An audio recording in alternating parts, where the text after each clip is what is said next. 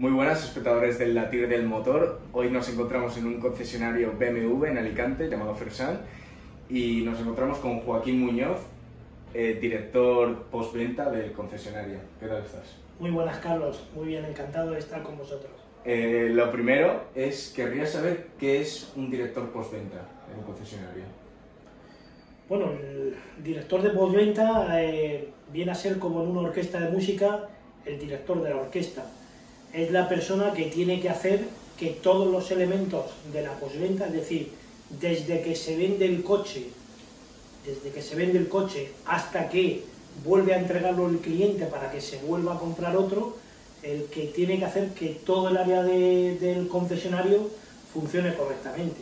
Eh, taller, recepción, recambios, carrocería, esas son las funciones de un director de postventa pero no solo se centra en un ámbito, ¿no? Se centra en general.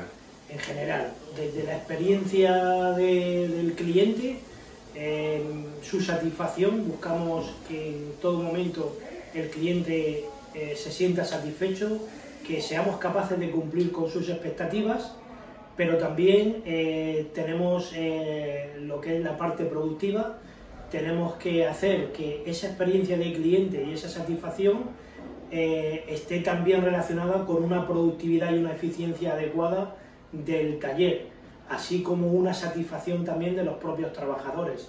Si tenemos un trabajador contento, encima tiene un buen rendimiento y el cliente está satisfecho, la orquesta de postventa va a funcionar correctamente. Y dentro del taller, ¿cuántos trabajadores hay? Bueno, en el área de postventa del FERSAM hay habemos 56 trabajadores, 56 personas que formamos parte de esa experiencia de cliente que, buscamos y que necesitamos. ¿Y dentro del taller cuántas personas al día atendéis? ¿Cuántos clientes? Pues bueno, depende, ¿no? Pero yo te, te digo que aproximadamente al año atendemos unas 16.000 personas. Es decir, 16.000 clientes entran por la puerta y nos depositan la confianza en nosotros.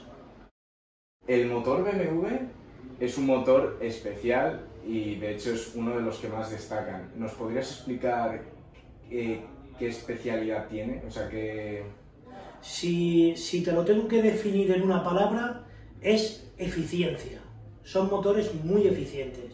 Son motores con altas prestaciones, peso reducido y bajo consumo. Eso, en pocas palabras, define lo que es un motor BMW un motor eficiente, poco consumo, altas prestaciones y poco peso para mayor seguridad del conductor. Al ser un coche alemán, el BMW, ¿qué diferencia a otros coches alemanes? Bueno, a ver, todas las marcas eh, son, eh, hoy están haciendo muy buenos productos. BMW se distingue porque es una marca que tecnológicamente está muy por delante de otras marcas de su sector. No quiero nombrar ninguna marca porque insisto que todas las marcas hoy están haciendo buenos productos.